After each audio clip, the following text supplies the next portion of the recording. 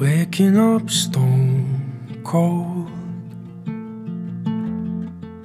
Thinking about those 사랑하는 첫째 딸 이종훈과 사위이자 이제는 아들인 안재국의 결혼식을 맞이해요. 저 또한 기쁜 마음을 주체할 길 없으며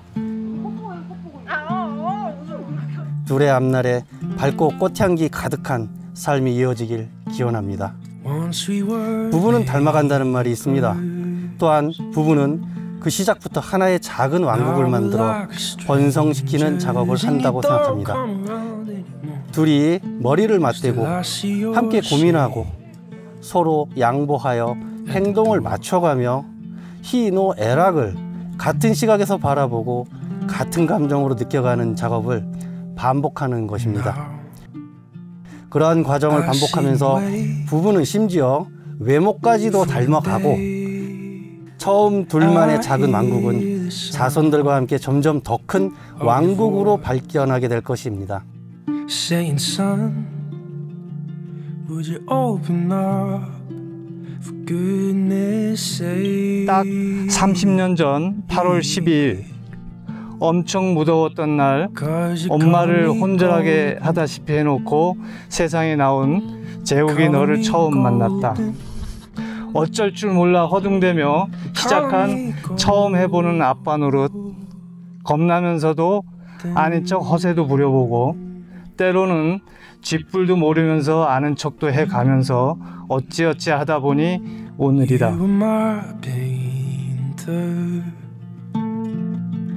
한국에서 멀고도 먼 캐나다에서 서로를 의지하며 10년의 연애를 한 끝에 어, 부부의 결실을 맺은 종은 언니와 제국 오빠의 결혼을 진심으로 축하합니다. 어, 1년 중 1년 중 절반 이상을 겨울과 함께 하는 캐나다이지만 또 오늘 아침까지도 흐렸던 캐나다이지만 언니와 오빠가 결혼하는 지금 이 순간은 정말 찬란하고 또 밝고 따뜻합니다. 이는 앞으로의 인생이 평탄하지 않을지라도 오늘의 아름다웠던 순간을 기억하며 서로의 손을 맞잡고 두 눈을 마주보며 보폭을 맞추고 한 걸음씩 내딛어야 함을 의미하는 것이라고 생각합니다.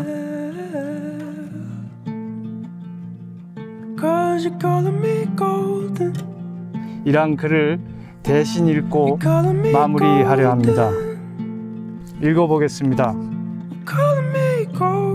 사랑하는 하나님, 저의 보잘 것 없는 입술로 이 시간 우리 아이들을 위해 감사 기도를 드리, 드림에 해주심에 감사합니다.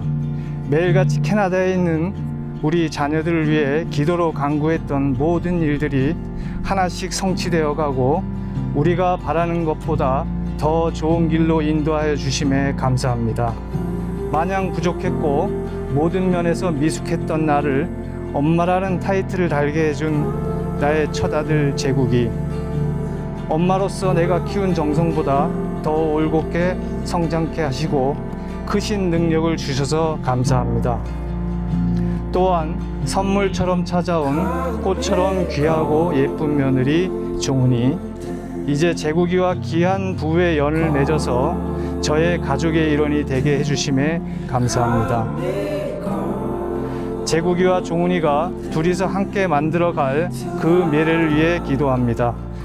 그 가는 길이 혼자가 아닌 둘이라서 감사하고 안도합니다. 또한 주님이 기꺼이 언제나 동행하여 주실 것을 알기에 감사합니다. 마지막으로 한 번도 육성으로 들려주지 못했던 말 오늘 해보렵니다. 제구가 종훈아 사랑한다.